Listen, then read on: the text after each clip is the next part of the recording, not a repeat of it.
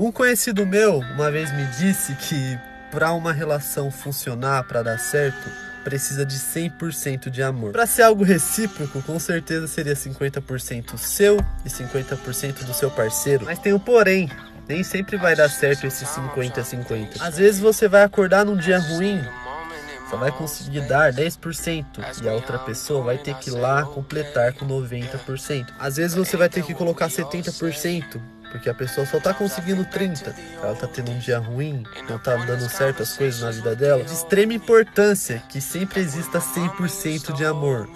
Mas compreenda que nem sempre vai haver esse 50-50. Não deixe sua relação desgastar, não se deixe levar pelos dias ruins, pelos acontecimentos.